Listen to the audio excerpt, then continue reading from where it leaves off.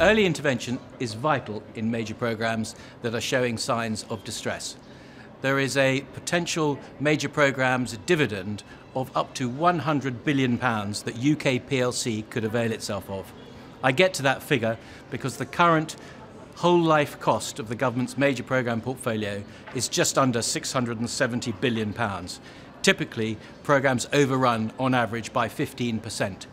Clearly, there are some outliers as well, but if you take 15% of the 670 billion and you just save half of that, you get to a major programs dividend of about 50 billion pounds.